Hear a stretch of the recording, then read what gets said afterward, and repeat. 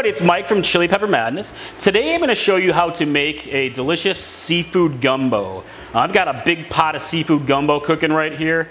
And uh, uh, gumbo is one of my favorite recipes in the world. It's Cajun cooking at its finest. Uh, this seafood version is just outstanding.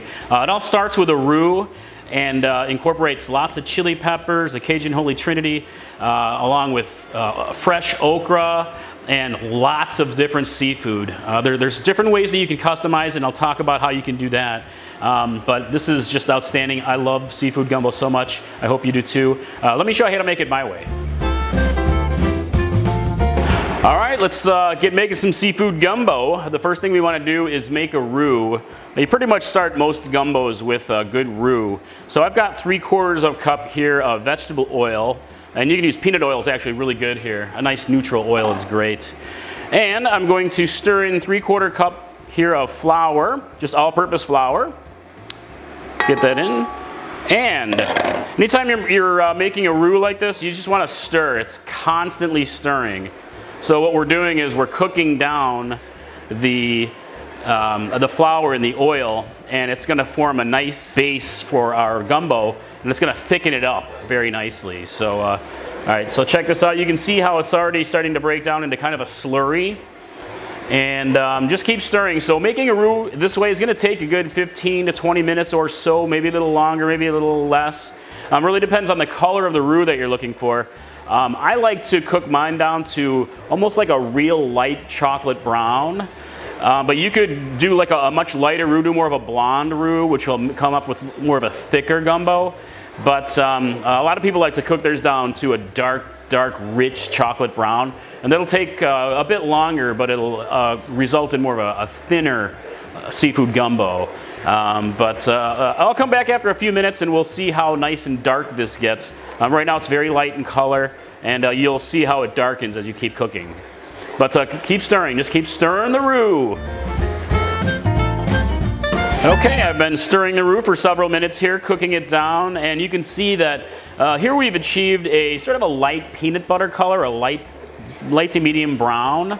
And uh, you can stop at this point if you want to and move forward with the recipe, uh, or you can just keep going and cooking it down a little bit darker. I'm to keep going, and I'm to cook this down a few more minutes, uh, several more minutes, until I get more of a light chocolate color brown. So uh, I'll come back when that's ready. Okay, we've got a real nice color here on our roux. It's getting to be a nice lighter chocolate brown. And again, I can keep going. This has been about 15 to 20 minutes or so in for stirring. And uh, again, you could keep going dark, darker. You can see how it's getting to a, a, light chocolatey brown color as I keep cooking it down. And I think we're getting really close to finishing the roux here. This is a color that I personally like, so I'm gonna move forward with the recipe. So still stirring here a little bit. Uh, we're gonna add the Cajun Holy Trinity, um, which is a base for so many different recipes. And that's really onions, peppers, and celery. I've got a good large onion. Just gonna stir it in there. And I've got some chili peppers here. Usually green bell pepper is traditional, um, but I'm using kind of a mixture of some uh, sweet colored bells and jalapeno because I like a little extra heat with mine. Shocker, shocker. And I got a couple of stalks of celery. Let's drop that in. Get it stirred up. Set these aside. And I also have okra. Um, I got some uh, fresh okra. Now that I'm living in the south, uh, I can get fresh okra much more easily than I could when I was up in the Chicago area. So I'm going to drop this in here. This slimy vegetable. Um, so the okra will break down and it won't be so slimy after you cook it down a bit. Um, and it's going to add a lot of uh, uh, flavor to the dish and also help to thicken it up. So it's, it's super delicious. Oh, I love okra. And I also have a few cloves of garlic that I'm going to add in here. Some uh, gorgeous garlic. I like lots of garlic. The more garlic, the merrier. So uh, let me just go ahead and get this stirred up here.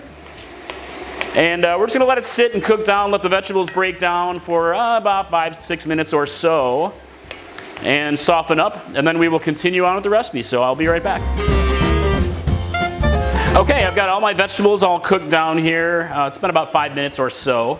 And things are softening up nicely and my okra is no longer slimy. Um, so we're going to go ahead and continue. I have all my extra ingredients here now. Um, so I'm using beer, but you can use uh, a bit more stock if you want to. I like a little bit of beer in mine. So I've just got a light lager. I'm gonna stir that in there. And I have some stock. Um, I usually use like a good seafood stock. I'll make my own sometimes. Um, but this is just kind of a mixed stock that I'm using today. And I've got five cups. Um, and you can use anywhere from four to six cups of stock.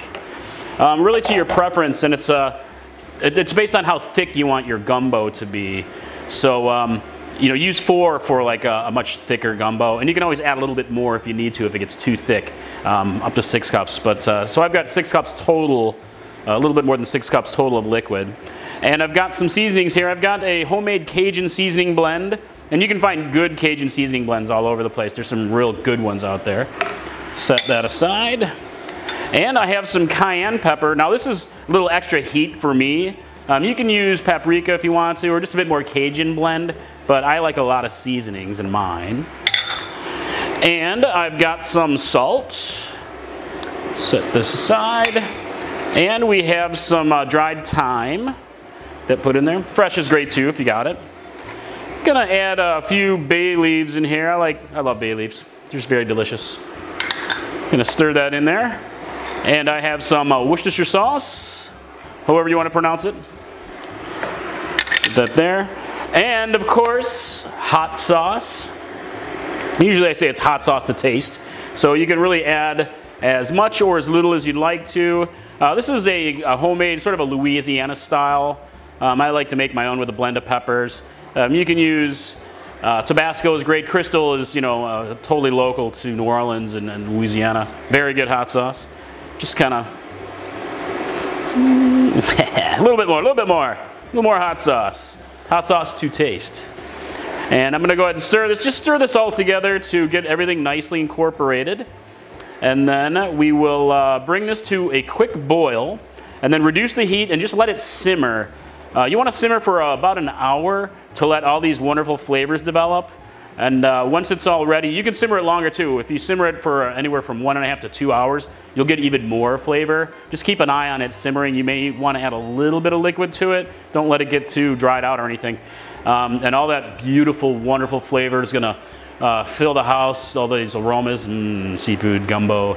Uh, and then once you're done with that, we'll add the seafood and uh, we will enjoy some gumbo. So, all right, I'll come back when this is ready. All right, it's smelling really good in here, you guys. Uh, I've had this simmering for a good hour and a half, and uh, it's uh, reduced and thickened up super nice. It's perfect. Um, at this point, you could add some more stock to it, some uh, chicken or seafood or vegetable stock, uh, broth to uh, you know thin it out just a little bit if you want to. I like the thickness of it. You can even use water if you want. Um, but let me take a quick taste. Mm. Oh yeah, that is delicious. I love gumbo. Perfect. So uh, I got my seafood station all set up. Uh, I'm gonna go ahead and remove the bay leaves here. Get that out of the way. And now we're gonna cook the uh, seafood. The seafood doesn't need to cook very long, um, only about 10 minutes or so in here. Um, and you have many options. This is a, a free-for-all seafood gumbo. You can use uh, fish, crawfish, pretty much anything you want to. Uh, this is a combination that I kind of use all the time. I've got a good pound of whitefish here. And you can use different whitefish, just whatever your favorites are. Um, catfish is super popular. It's very delicious. Get this set aside. And I've got some shrimp. Pop the shrimp in there. Ooh, look at that, yum. Got a, almost a pound of shrimp, you can use as much as you want. Here I've got a pound of uh, crab meat. This is the claw meat. And uh, again, you can use whatever kind of crab you'd like. Uh, crawfish, delicious here. Super popular. Crawfish, yum. One of Patty's favorites. And I've got some smoked oysters. I love smoked oysters. These are just, uh, yeah, delicious. Make a po' boy with my smoked oysters. Very good, very good. All right, so just get it all mixed in here. And uh, again, I'm gonna let this simmer for a good 10 minutes so that the shrimp and the whitefish will cook up. And uh, then we will come back and we will check out our awesome seafood gumbo. Mm. Be right back. All right, guys, uh, this has been uh, simmering for another 10 minutes or so, and it looks like my seafood is nicely cooked through. You can see how thick this is. This is like really, really thick seafood gumbo. Uh, I don't know if you'll get it this thick in the restaurant, so that's why it's you know, so much seafood in there. This is home. Oh my God, it's so good. Look at that. So, uh, so that's it. When you're ready to serve your seafood gumbo, uh, I've got some fresh chopped parsley that I'm just gonna add right in. This is gonna give it a nice fresh pop to it. Get that stirred in. A little, uh, little color to it and a little, little touch of fresh green. It's very good. This is optional. You don't have to do this if you don't want to. And stir it through. And of course, if you are a uh, spicy food lover, you can adjust with hot sauce to your personal tastes. Um, I'll probably add a little bit more to, to, the bowl for myself so I'm not over spicing Patty. She does like it spicy, but not as spicy as me. So, uh, but that's okay. So, all right. Yeah, look at this. Gorgeous, isn't it? Beautiful. I can't wait to eat it. But, uh, but that's it, guys. That is how you make seafood gumbo. And again, it's super easy to customize. You can cook the roux as long as you want to, make it a lighter, make it darker. Uh, you can add a bit more liquid to it if you want. If you want it to be a little bit thinner, not so thick, you know, stretch it out for more people. Um, you can add more uh, seafood to it, less seafood. You can add different cuts of seafood, different types, pretty much anything you want. Uh, use your favorites, do all shrimp or just do all fish, uh, all oysters. I mean, there's so many great ways that you can customize seafood gumbo. Uh, but this is one of my favorites. I love gumbo so much. Seafood is outstanding. Uh, but that's it. I uh, hope you guys enjoyed. If you make it, let me know uh, what your favorite version is. Send me photos, send me pics, all that stuff. Um, but yeah, that's it. Mike from Chili Pepper Madness. I will see you next time. Bye.